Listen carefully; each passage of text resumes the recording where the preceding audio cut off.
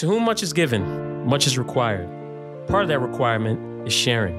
Culture is the heartbeat within our lives, and it's at the core of so many things. While we live in a time when we are starving for wisdom, I welcome you to your wisdom retreat at Culture Raises Us. Bobby Carter, today's guest. Some may know him as the one and only DJ Cousin B, who's an amazing DJ, by the way but but he's also one of the key executives, uh, visionaries, producer behind Tiny Desk at NPR. And you know, while Tiny Desk has been around for years, I mean, we could safely say, I, I think it's also safe to say that they have hit quite the level with the impact they're having in the music culture space. And before we have him kind of walk us through his journey, I want to start with when you hear culture, what does that mean to you, bro? Yeah, that's you know, I, I, I think about that a lot because the word is thrown around a lot. Mm-hmm. But you know, in a nutshell, for me, it's the everyday people in society, the people who move the needle, the people who set the trends, the people who dictate what matters right now. Um, but they're also they're also the people who are unseen, who are who aren't heard, um, who society and pop culture tend to borrow and steal from. Um, and they, they aren't given the credit for what happens right now, who dictates what matters right now. So, in a nutshell, like the culture is it's my people. It's my people. Uh, you know, you saying the you know the people behind the scenes exact exactly exemplifies what we try to highlight here, right? Are the stories, uh, are the individuals, the cultivators like yourself. And I- am so glad that you had that as your definition or a key component of what culture means to you. Uh, you know, well, again, before we even get into it, also the culture is you because, you know, you are a prime example of being a mentor from afar. You know, you and I have mm-hmm. known each other for a long time, and we met through our brother J May, and we'll go a couple years without really talking but like you've been such an example for me of moving culture dictating culture family god mm. and doing all of that while being fly. That's that's the that's the key thing though. Is that, that that's the key? things right? You can do all of those things but when you make it look fly that's the stuff that i look up to. So brother I just want to thank you for like being a mentor from afar for all of these years, for well over a decade, man. And you are culture. Oh man, I appreciate you for for the kind sentiment. I, I receive it and, and, and thank you. Um, but so again, like you just said, we've known each other for a very long time. I've had the pleasure of getting to know you on many, many levels. Yeah. Give people a little bit more about who Bobby is all about. Man, I am a I am a kid born and raised in St. Louis, Missouri, North County on the north side of St. Louis um, a kid who is uh, obsessed with music. It's the thing that drives me. It's the thing that wakes up everything inside of me. It's the the thing that I'm good at. You know, when you get, you know, I'm great at. you know, appreciate that. But it's it's the thing that it's the spark. So I'm just a kid from the Lou who has discovered not long ago, his power, his impact, um, his authenticity, um, who who's proud of where he's from. I'm an HBCU alumni, Jackson State University. Um, and I'm just at the end of the day, I'm, I'm a black man in, in, in society who's really, really trying to leave a mark and and carve out a lane for people just like me um, to take anything that I do a step further. Yeah, and you're probably one of the more humble people that I know. Um, and I love your your the, the way you move in your humble nature. And like I said, you know, recently I had the pleasure of attending a taping of Tiny Desk while I was dropping my oldest daughter off at college in DC, thanks to you. And I got to tell you, the amount of joy it brought to me seeing your leadership and your presence in that space was special you know, and I want to applaud you for your commitment and your desire to make sure that we're represented in the most impactful way possible, literally. Mm-hmm. And I think this is a key reason why I felt like or feel like you are such a key part of the evolution of music culture. And and given your your experience within music culture over the years, was there a particular moment where you realized just how big and instrumental this music culture was to overall culture? Well, you know, as like I said, like the thing, music and mu- music culture, I don't recall a time in my life where it wasn't the most important thing other than God and family. Uh, so as a child, um, I knew that my my call and my purpose was to do something in music. Now, I've never played an instrument other than the saxophone for maybe a couple weeks, and I kept breaking the reeds, and I gave that up. Finally, got into DJing when I was in high school, but other than you know, I played sports, and I was never I was good enough to play, but I didn't excel. It was more so a means. My my mom kept us in it to keep us out the streets, and more so of a social outlet. You know, I really learned how to uh, get along with others as a kid through sports. It was also an outlet to see other parts of the country, but I was never really good at it. You know, I was good enough to play, but I, you know, but it was music. I was always the weird music kid. I all, you know, I used to get on the bus. When I used to get on the bus to go to school, I was always the kid with the headphones on, right? The mm-hmm. headphones on. But what I would do, I would turn the Walkman up as loud as possible in silent moments while we were on the bus, just to get somebody to hear what I was listening to so we could talk about it, or just to get that, yo, what's that? There's Mm. nothing like even T- today. turning somebody on to something. So even as in high school, music discovery was the thing. You know what I mean? I, I there was there's nothing like someone looking at you with that look on their face and saying, "Yo, what's that?" That's right. You know what I mean? That's right. And even back then in, in middle school and high school, that was always my thing. Like putting people up onto something fresh and new and and and and, allowing them and and getting them to dive down that rabbit hole to learn about who this artist is and going deep into the liner notes. I was a music nerd. So I knew this culture was moving me in ways that not other people were moving as a young, young, young kid. It's everything. You, you know, when you tell your story about your youth and your inability to excel in the sporting area, it's it's crazy that as you say that, I'm looking at how look how God works. Firstly, because the the key principles that you picked up in sports, like I saw firsthand how you got down and you're leading on that tiny desk stage, literally and figuratively, and in that setting with people and the respect that you gain and get from people in that space. And I think it's a total reflection of your sport history, your, your, your, the time that you spend in sports and the principle that you picked up that you now are executing and putting into play through your love of music, through this tiny desk platform and everything else you do. Because I saw that. I saw your ability to work with people. You respect people. It's so wild how, you know, when when you make the call or you guys send the email or whatever, and literally it's just staff that's that's watching this, right? And people gravitated to like, okay, so who is it today? Because which I, I just and just your your education, it that was your bus moment. I saw you mm-hmm. having the bus moment that you were just talking about, turning your music on loud. I just now those were those moments of when people were coming up to you and you the joy you felt in walking them through who it was. Oh, you're gonna need to know about this person because they are boom, boom, boom. I was just listening to that, and now that you mentioned what you just said about you coming up, being on the bus, having your, your headphones blasting, and hoping somebody would ask you, "Yo, what is that?" Do you realize that's exactly what you're doing right now? I'll never connect those dots, Astor. I promise you. Like You're, you're welcome. You're, you're welcome. listen, listen. That that's literally what what what it is. Like, bro, that's literally what it is. And so, look, Tiny Desk has gained, I mean, significant popularity even after years of existence, as I alluded to earlier.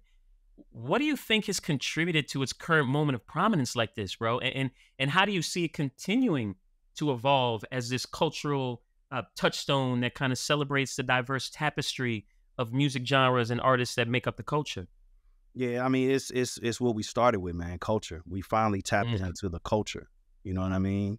You know, Tiny Desk started uh, in 2008, and it was just uh, it was just a fun thing to do. Um, created by Bob Boilen, whose desk that the people still perform at is is is his work desk.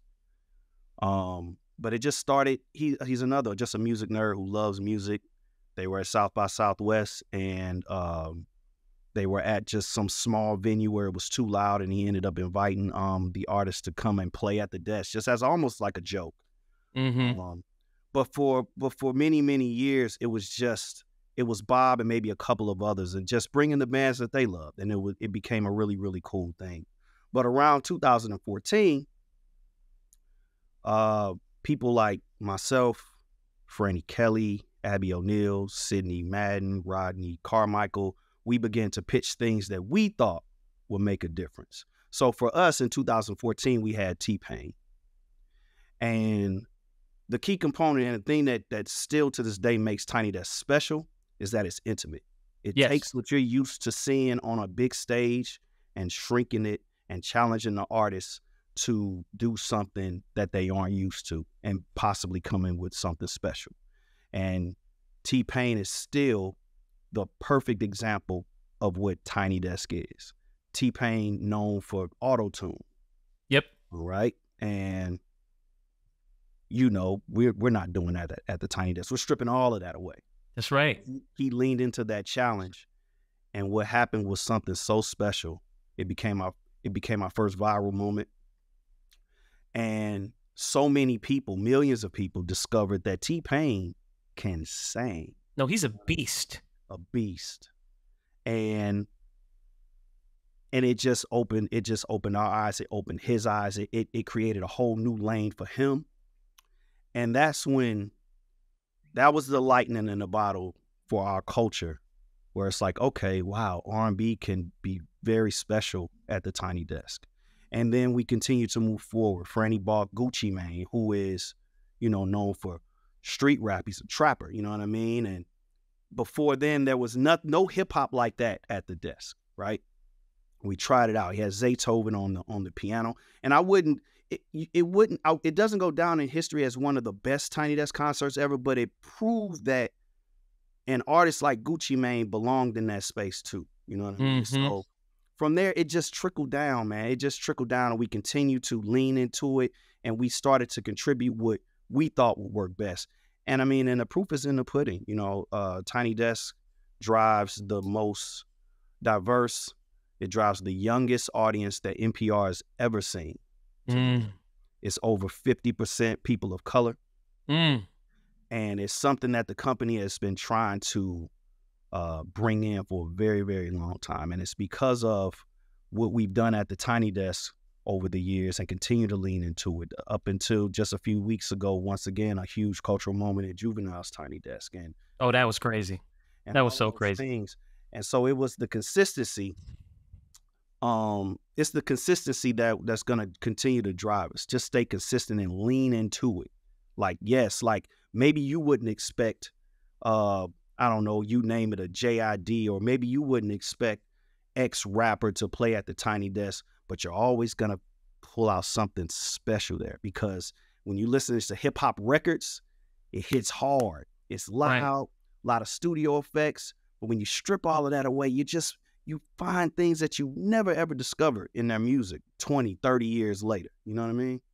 You know, and even with the Juvie one, even that was kind of pulling teeth in this day to make happen. Like that was a whole like challenge, right? Fam, like it's gonna go down as one of to me one of the most endearing, uh, just most fun stories in music of 2023 because the man did not even know who we were. That part, like literally. he didn't know who we were. His team didn't know. He even went on went on Twitter like, "Yo, what the f is a tiny desk?" And no, also no, I'm not doing it. You know what I mean? Mhm. To a couple of weeks later, I get a DM from management. I know I get a DM from him because he gets such an onslaught of tweets like, no, fam, like people like Freddie Gibbs and other artists who played the Tiny Desk, like, no, OG, you gotta do this because That's right. X, Y, and Z. And finally, he's like, yo, okay, okay, I get it now. I understand. Like, if this tweet gets 10,000 retweets, I'll consider. In less than a day, that went crazy. And yeah, just history was made. You know, we we we quickly got on the line. They allowed me to kind of, you know, they didn't know what to do. So I was like, you should do these songs. And they almost hit my set list to a T, you know. Oh, that's so dope. We got really, really close. And the band and album, they were amazing. And it was just a special moment. And now the man is overbooked. Listen, man, and if that and the T Pain example are not amazing examples of sometimes you got to get comfortable with being uncomfortable. Yeah. When you Yeah. talked about T Pain, auto tunes, and and Tiny Desk being like the live performance of all live intimate performances, where you know auto tunes is, is probably not going to be in that space. Yeah. But look what birthed that, like it, it- an outlet of of showing and showcasing the true talents of this dude that many of us really had no clue about. Yeah. With Juvie, it's this resurrection of his career almost. But it, it came at the expense of individuals having to get comfortable with being uncomfortable. And you helped with that. You know, many of us live this life every day though, right? Of getting right comfortable being uncomfortable. But it's great to hear these stories and how they've impacted even the platform. Yeah. And in an era of like mass content output, I mean, like we're on content overload Oh, across all mediums. Tiny Desk, though, really stands out as this amazing, curated, and like you say, intimate space. How does the platform curate these performances, though, to provide a more like meaningful or authentic experience for both the artist and the listeners? Yeah. It, it takes a lot of trust on both ends, you Mm. know, because once we agreed to do this, once there's agreement on both sides, like, hey, I'm coming to play Tiny Desk, hey, we're gonna host you. It's a lot of conversation about like, listen, this is a real, you know, you were there. It's a real office. It's a regular office, and on- at a regular With day, with people working, people working. There are no studio tricks. This isn't a sound stage. You are going to have to take it back to when you were first doing this, beating on the table or jamming somewhere. You have to take it back to that. And also, you have to be able to deliver because you are fully exposed. You know what I'm saying? Like you can't hide behind anything. You can't hide you can't hide behind uh auto tune or you can't hide but you know, you you know, the music the music industry is filled with a lot of tricks that make artists sound great. So I tell them ahead of time, like, we don't amplify the voice. We don't, there's none of that. You just have to be able to sit at that desk and perform. Um, so it just takes a lot of trust on both ends, you know. And I, you know, I think it, for our our responsibilities is to let them know exactly what they're getting themselves into. Um, and many accept the challenge, and more people than a lot more people people would be surprised of surprised by the amount of people who don't accept the challenge respectfully you know what i mean wow, that's Oh. wow. and I, I you know i have to respect it you know what i mean i, I much rather people say you know what mm, not for me than go in and, and and embarrass themselves because like i said that you can't hide behind anything either you have the talent or you don't Well, well, listen, eh, when you talk about the hiding behind, you know, I even think about some of them that I've watched and even the background singers. I mean, sometimes are, hello? Like you talk about not hiding, some of the lead artists that you're bringing on, when they bring these background singers, I believe it was Babyface. I don't know if it was Babyface or Charlie Wilson. Who had they both had amazing they both had amazing background singers but babyface particularly brought stars no? So, eh, what- so what's the Babyface one? Was that Avery, Chanté Moore, and Tank? And Tank? Yes. And let, let me tell you something for the record. I'm so glad we can have this conversation for the Let's talk record. about it Avery? Yeah. Avery. yeah Now, this young man, so I, I connected with him with my daughter years ago because he was on kind of this Broadway run and TV run where he was trying to get on TV shows and, and, and Broadway when, while my daughter was on Broadway. So they would show up at auditions together. Oh, And I would hear this dude sing. I was like, oh, this dude is different. yeah. I mean, effortless. It was effortless then. And this is It's- it's this like is almost not even no, what five five seven years ago and i knew he had this effortless ability Mhm. but bro when i saw him with babyface and he got that moment i mean even tank and Tank is a complete problem and beast. And Even Chanté Tank- Moore as well. Chanté Moore, they both had to step aside, like, hold on, oh, oh, whoa, wait a minute. what just happened? But you know what that speaks to though? Of just how great Babyface is. Mm, It speaks to to know that how comfortable he is in what he what he provides. To Lesson. able to, and the the lack of ego lesson. To say I'm bringing stars in their own right to back me up who could clearly steal the show. But I have nothing, you know, you got to put some respect on Babyface's name because like it was a reminder. You know, he did come, you know, Tiny Desk for me, I always make it my duty to bring a few artists from time to time just to remind people of how great they are Mm, and it it amazed me just by how humble he was. You know, I Mm. talked about earlier how you know we have a meeting of the minds, and we usually have to have bring the teams together to talk about what's gonna happen. When I booked Babyface, and we got on a Zoom, I totally expected a manager, an MD, mhm. publicist. No, it was Kenny Babyface Edmonds in the name. Kenneth, Kenneth, Kenneth showed up. And his publicist says, Hey, I have Kenny, here you go. And it was just him and I on Zoom. And I had to just sit there for a minute, like, okay. wow. Didn't expect this. And he proceeds to go down and run down exactly what you guys saw on YouTube. I'm going to have Avery Wilson. I'm going to have Tank. I'm going to have Chanté Moore. And I'm just going to run off all of these hits that I've written and performed over 30, 40 years. And I'm like, my, my job is done. My job is done. But but but you know what else you just kind of highlighted the true essence of a leader. Mm.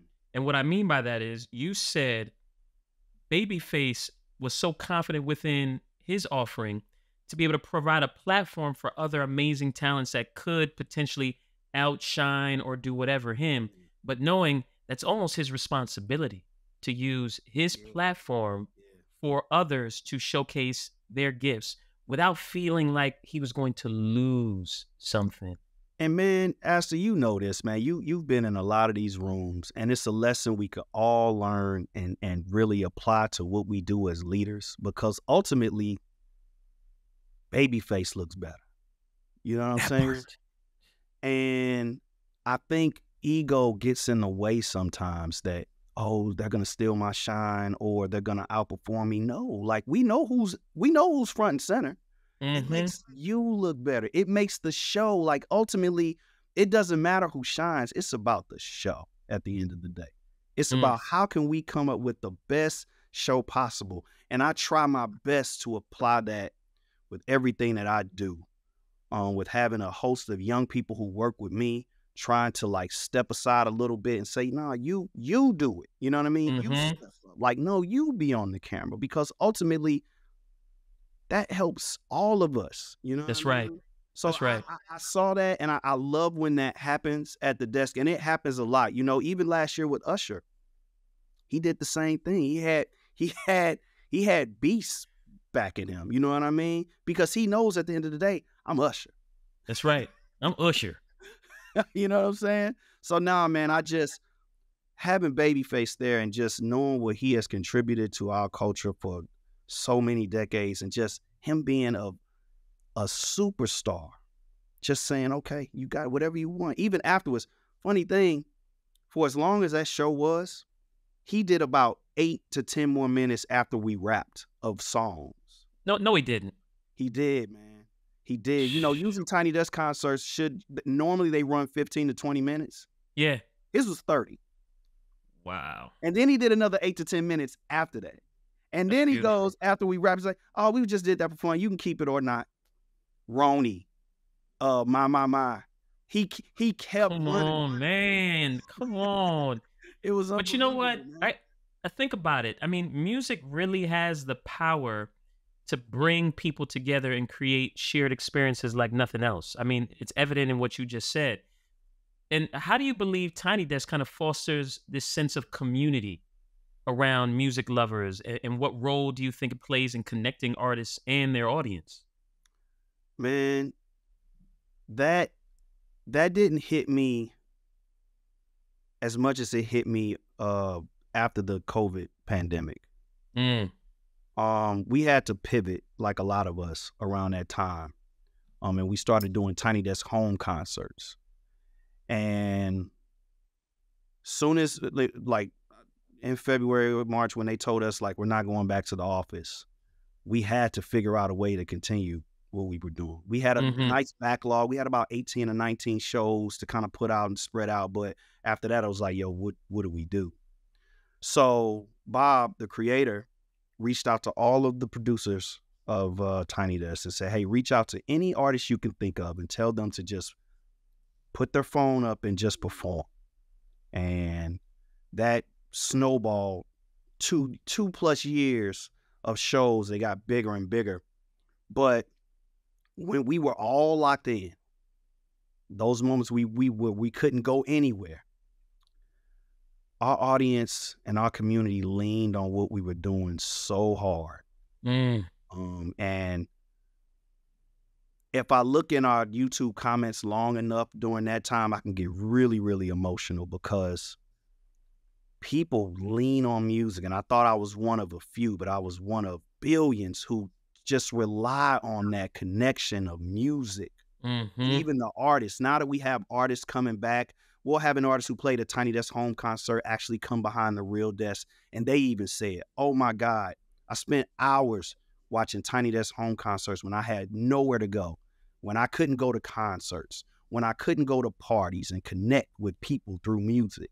Tiny Desk home concerts is all I had. And I can just talk to my community in these chat Mm. rooms and say, Whoa, did you see that? And now it just, I think that it's just so important, man. And in the aspect of community, like you just said, I, I never felt that more than when we were locked inside with nothing but our computer screens and what right. the artists gave us to, to to put out. The most, the best one when it comes to the home concerts, when it came to really providing, I can think of two, but one was Kirk Franklin Mm. and it had us all crying because we were locked in. We couldn't do anything, and the power of that music when we couldn't go to church and we could That's he right. provided everything. And another one was Jhené Aiko. She- It was just, it was like a 20 minute meditation. She had sound bowls and, you know, It was a thoughtful experience, a thought out experience. Man, we were all worried. We didn't know what the future held, but like in that 15, 20 minutes, everything was all right. You know what I mean? Hmm So no, I think um I think it's so important. And I, I'm I'm blessed to be a small part of providing that experience to so many people. You know what I mean?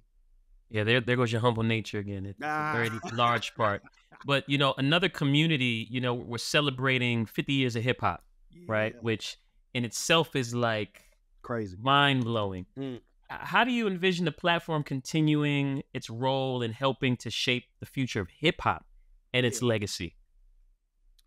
I think um the important thing is being brave and smart in our choices. Um, I think it's it's my responsibility to show um the country, the world, just how diverse hip hop music and hip hop culture is. It's uh, it's so important to me because when I think about the journey of hip hop at the Tiny Desk, it's really really parallel to the journey of hip hop in society You know, Mhm. we had to fight for people to recognize that we were a um, sophisticated genre. We were a layered and and and and, and like multi-layered and multi-dimensional musical genre and culture that we had much more to offer than what was on the surface, you know. So I think um it's really parallel. Like we really had to kind of prove our worth. And now where we are today with hip hop music being the most important export in America, the the most important American export in the world, and hip hop music being the most popular genre in the world. I think it's really important for at the Tiny Desk, our small part is to continue to show just how much hip hop has to offer. And Mm. don't do it the safe way. We can totally be safe and pick the safe choice. But I think when you look at our history and you look at the special shows out there, it's when we got brave in our choices and even challenged ourselves. That's when we really got the magic, the juveniles, the Anderson .Paaks, the things that the artists that people don't necessarily expect us to bring, but providing something that they can't forget. You know what I mean? Mhm. So it's like you, like we said earlier, staying out of the comfort zone, being comfortable, being uncomfortable. You know what I mean? It's like I'm still, you know, I still get nervous and scared and I worry about those things, but like, you know, that reminds us, you know, we alive inside. You know what I'm That's saying? right. You, you know, it's funny. I, I I tell my oldest daughter when she goes to auditions and all that, or she's about to perform, and I ask her, "So you nervous?" And she's like, "Yeah." I'm like, "All right, good." Because if you weren't nervous, we'd have a problem. Yeah. Like you you have to have those nerves to turn into your reminder of, "Oh no, no, I'm I'm made for this. Yeah. This is God's plan. God's Yes. given me the gift. This is my opportunity." But if you don't have that little bit of nerves, then there's too much of a comfort, like of of expectancy, like oh, I got this. You never want to feel like you fully got this, but you do want to feel like you got to show up and respond to the nerves that you know are not really valid. So I'm glad that you that you even have that anxiety or, or those nerves before an episode, and then you click in like, oh no, we here, we we gonna rock. This is And this is gonna only be then, only then does that stuff subside. You know what I'm saying? Like only in that moment leading up to it, bro. Come on, man. Like, but I care, man. I just care so much about it, and I just Yes, you want do. it to be the best.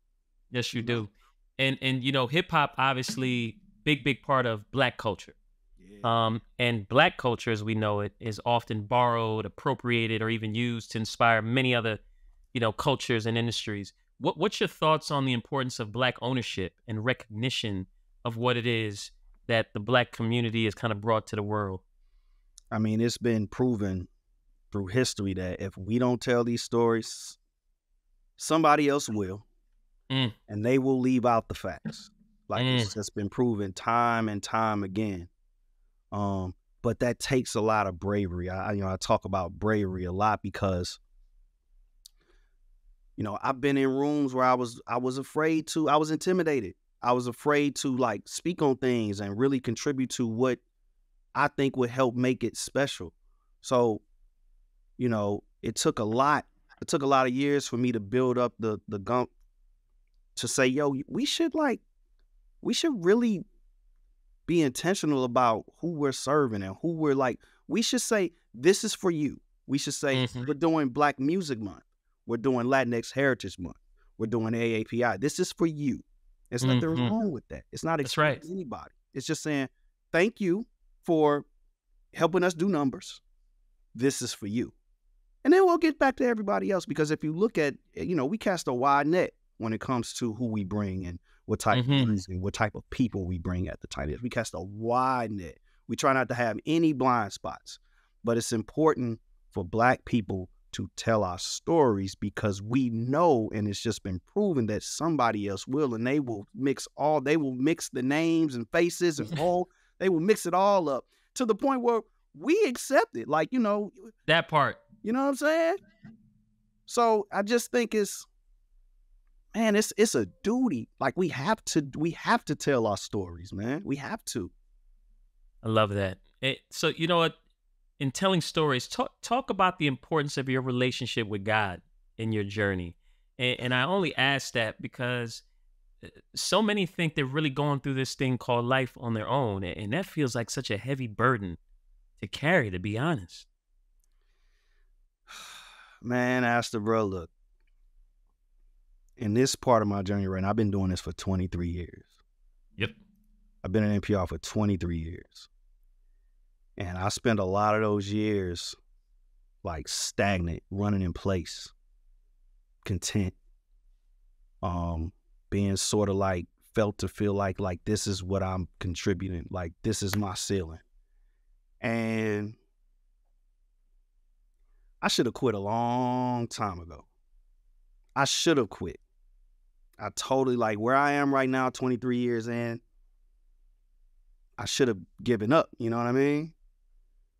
It's nothing but God. You know what I Mhm. mean? It's nothing but God telling telling me, son, stay here, stay on this path, because you will run into your your purpose will meet you. You know what I mean? Mm. You're gonna you're gonna meet it. You know, my um I'm looking for a new church home right now because my pastor uh left not too long ago and things are not going well. So I, I was home in St. Louis. I went home this past week to St. Louis. And I haven't, you know, I haven't been to church in a few weeks and I was able to go back to my church where I grew up in, you know what I mean? And it was of all the things I love going home to see my boys and all of that, but I was I didn't even text my mom a couple of times. I cannot wait to go to church with you. You know what I mean? Um, just to be reminded and being in the house and be reminded of who provided all of this. You know what I'm Mm. saying? I give all of this to God. You know what I mean? Sure, I work hard. Sure, I have a unique perspective. All of that. But knowing where I come from, I know, I know who got me here Listen, you know a lot of us especially black man you know we get to we get to we get into these spaces. And sometimes we you know we tell ourselves a lot like i'm I, i'm not even supposed to be here. Mm-hmm. you know when when we think about i've been taught by a lot of people that you know success is relative. You know what i mean? You know it's it's it's so important to kind of look back on where this thing started to kind of like remind you that yeah you might i might not i'm nowhere near where i want to be but if i just look back at the start you know what i'm saying I, I I'm- i'm reminded and god reminds me that like bruh like if it stops today you know i put you in spaces like we met in paris france Astor. you know what i'm saying that part, that part. you know what I mean? Like, I'm not supposed to be there. You know what I mean? Mhm. Society told me I'm not, statistics told me I'm not supposed to be That's there. right. All those things told me I'm not supposed to be there. You know, I'm, you see, you know, you, you, I've been a part of just like surreal moments Mhm. and, and I'm doing the thing that I actually love. And I know that everyone doesn't always get to that place.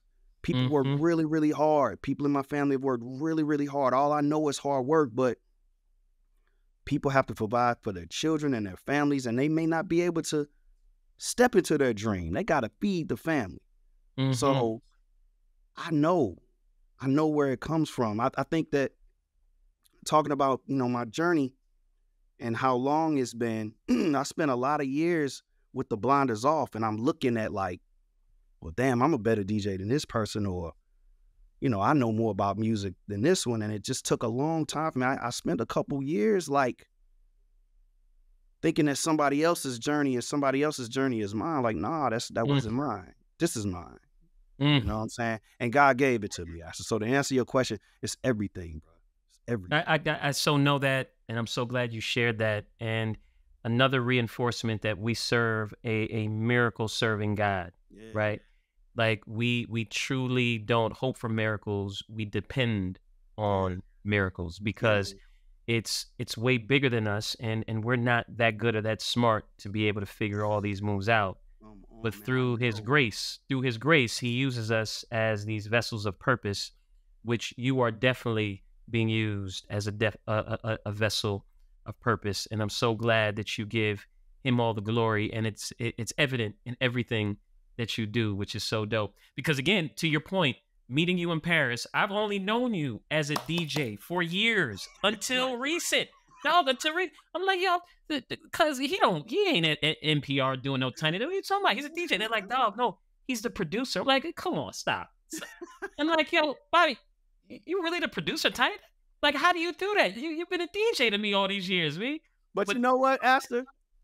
The DJing informs everything. I'm a DJ first. You know what I'm saying? Like my DJ, like the way we cure, the way I cure all of that is is it all stems from the DJing, bro. which again is who's the master architect of all this? God. It's all God. Indeed. Not So- So now look, we got the opening scene to your life documentary, bro. It's about to start. Mm. What song is playing and why? Mm. it's Stevie Wonder's Superwoman. Whoa. um, it was the first song ever. I was I just got this feeling like I did not know that. I, mean, I was I'll never forget. I was sitting in the basement. My mom said, "Me and my mom, we have the record player downstairs, digging through her records." And when that song came in, you know, if you listen to Superwoman, there's so many movements to it, and it goes into place. When you, fir- I try to always take myself myself back to that very first moment I heard that song, and I wish there was a camera there because my eyes are like, "What is What? going on?" Yeah. and I want to feel this feeling again. So Superwoman is the the song that just like unlocks something in my brain where like I can't believe this piece of vinyl from this man that I don't know like brings me not only joy but like feelings that I can't even describe yet. You know what I'm Evoked so much. Evoked so Oh much. my God, bro! Like it's it's with no, it's Stevie Wonder, Superwoman, man. That song, I just like. Son, you never you're never gonna get an argument with a Stevie song. You you really on. I mean what Omega. Shh, listen. so look, you know, we we always close with the question of the three seeds that you'd want to leave with the stewards of culture moving forward. What are those three things that you would want to leave? Uh, the first one is courage. Yeah. Um, I do my best to work with younger people who remind me of myself, and just younger people across the board to like encourage them, like to like have courage.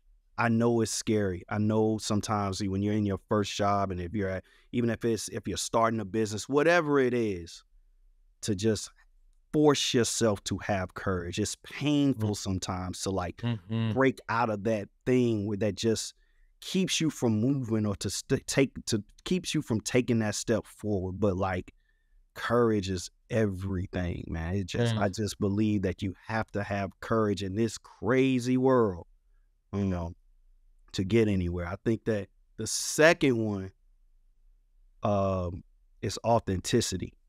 Mm. Um, I think I only got so far when I brought my whole self to the table. Um, I'm not exactly the most well-spoken dude, you know. I'm, I'm I, but you just have to be yourself Yes, because that's the most unique thing that you're gonna bring into these rooms that's right. just Right. yourself like unapologetically if you your english is broke whatever like you know i don't i don't really like the cold sweet i mean it's it's just important to be who you are you Facts. i mean i think sometimes you know i hate to keep going back to tiny desk but when we sometimes when we bring rappers to the tiny desk and they're they're performing i see them kind of being reserved or not cussing or like censoring themselves and every so every so often I have to walk up and just whisper and is it like, yo, do you? Do you? Do you, fam? You're here for a reason. You know what That's I'm right. saying? Do you? So yeah, authenticity is is super important to me, man. Um the third one is simple, it's kindness. Um it's so much easier to be kind to people, man. Um Is it easier or is it? It's actually. It, it seems like more work at times. it seems like more work, but when you make a hat when I, when you make a habit of it, It becomes second nature. yeah, it's like second nature. Not not get it. I'm a human being, you know what I'm saying? We deal with you know who we deal with. Man, listen.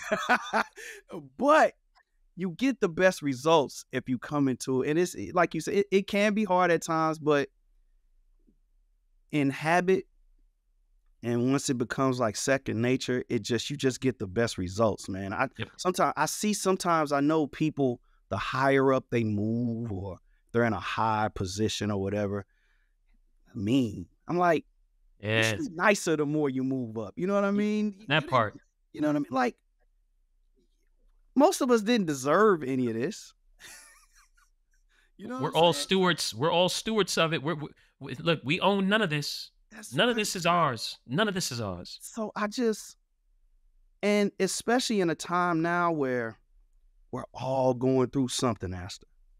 We Yeah. all wake up every morning with a heavy cross to bear. Yep. All going through some heavy, heavy things in our life, man. All of us. Mm-hmm. There are things that that that we don't share with other people. They're just things that that we struggle with. Mental health, all of these things. So it's just like it's just important to be gentle with folks. You know what I mean? Be easy mm-hmm. on folks.